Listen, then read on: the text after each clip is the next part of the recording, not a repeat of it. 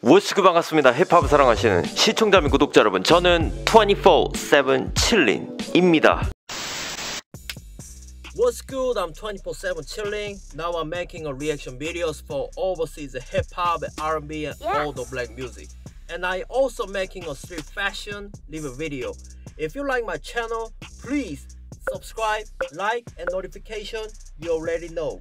Blast 24/7 chilling. 제가 이 채널에서 로지의 모습을 볼 수 있게 될 줄은 전혀 상상하지 못했습니다. 여러분들 아실 거예요. 좀 실력 있는 아티스트, 유명한 아티스트들이 그 라이브 퍼포먼스 하는 유명한 채널 중에 칼라스라고 있지 않습니까? 저도 가끔 되게 즐겨 보거든요.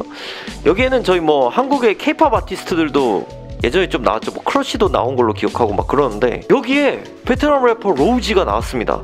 물론 저는 이전에 Suboi가 나온 영상도 보긴 봤지만 로우지가 칼라스 채널에 나올 것이라고는 저는 상상도 못했거든요. 그것도 며칠 전에 공개한 새로운 곡을 라이브 퍼포먼스를 하는 겁니다. 이 칼라스라는 이 채널에서 보여주는 그 라이브 퍼포먼스 자체가 심플하지만 되게 고급스러운 분위기를 지향하는 퍼포먼스로 좀 유명하잖아요. 그리고 여기가 아무나 나올 수 있는 채널이 아니라고 저는 알고 있어서 진짜 놀랐고 아 Low G면은 어울릴 수 있을 것 같다는 생각을 했습니다. 베트남에 유명한 래퍼, 멋진 래퍼들 정말 많은데 저는 로우지에 대한 극찬을 여러분들도 잘 아실 거예요. 제가 매번 이 친구에 대한 영상을 찍을 때마다 정말 많이 했었는데 자기만의 색깔이 분명히 확고하고 재즈한 flow를 가졌으며 다른 랩, 베트남 래퍼들과는 다른 자신만의 컬러를 분명히 갖고 있는 래퍼라서 저는 예사롭지는 않았어요. 이 로우지의 행보에 대해서. 아 근데 칼라스에 나오네요. 아 저는 그럴 만한 자격 충분히 있는 래퍼라고 생각합니다. 예. 일단은 저도 이 새로운 곡에 대해서 좀 얘기를 해봐야겠죠? Thiên Thần Ác Quỷ라고 여기 되어 있던데 이거를 구글 번역에 해석을 해보니까 천사와 악마라는 제목이었습니다. 가사를 어떻게 구글에서 찾아서 보니까 조금 잔인한 내용들도 좀 있었고, 어, 약간의 그 어떤 가상의 스토리텔링 같은 그런 가사들이었어요.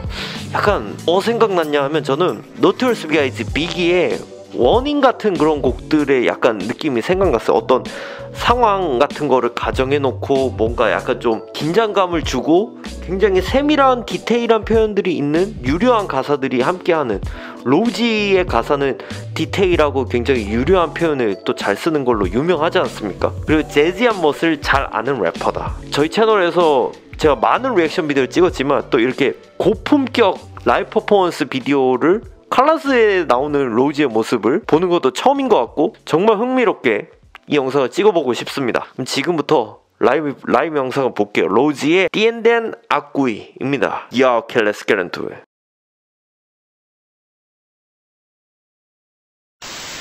Yup, are you enjoying watching my video? Have you still not subscribed to my channel?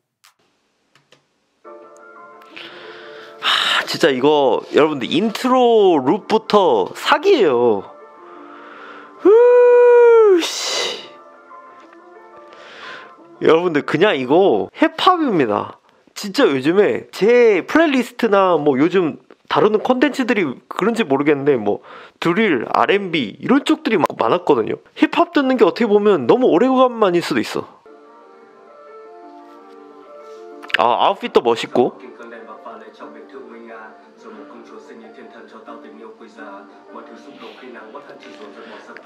그 절제된 목소리로 정제된 플로우를 뱉는데 하, 멋있어요.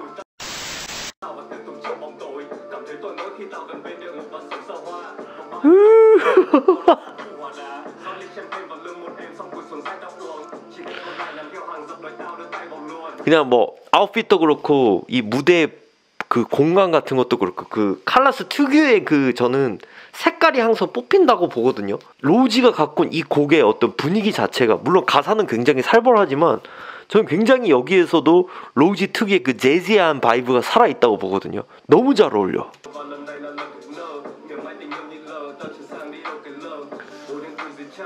아.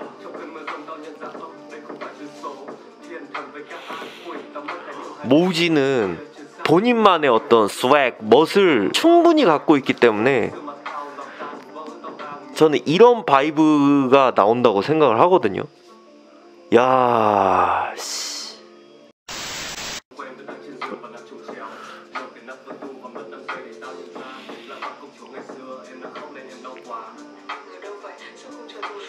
아, 이 곡 말이요. 이 여자 목소리로 나오는 이 응답하는 구간 있잖아요. 전 진짜 요게 미친 것 같아.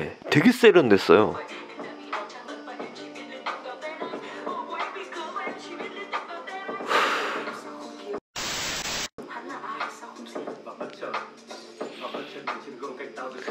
분명히 가사는 굉장히 살벌하고 공격적인 느낌인데 그게 하나도 자극적으로 들리기보다는 고급스럽고 유려하게 들려. 오. 진짜 와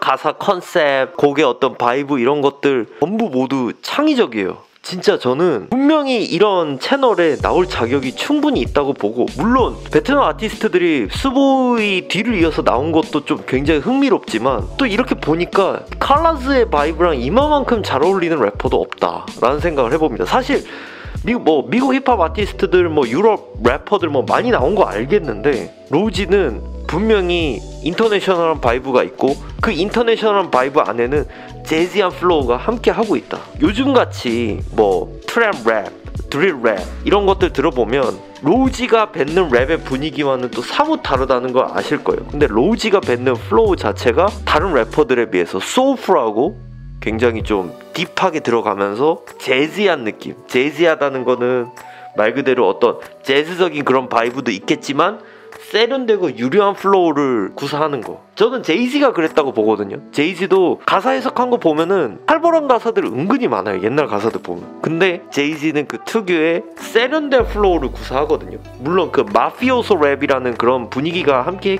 했, 지만 전 Low G의 flow에서도 그런 그런 flow들이 느껴지니까 와 진짜 잘한다. 그냥 멋을 잘 안다라고 밖에 얘기할 수밖에 없는 거예요. 칼라스가 로지를 제대로 잘 알아봤다. 라는 생각을 갖고 있습니다. 자 여러분들의 의견은 어떠신지 모르겠습니다. 의견 있으신 분들은 댓글로 많이 남겨주시고 저희 24-7 챌린지 채널이 마음에 드시면 구독, 좋아요, 알람 설정을 해주세요. 저는 다음에도 재밌는 영상으로 다시 돌아올 수 있도록 하겠습니다 여러분. 감사합니다. Peace out. Want to watch more videos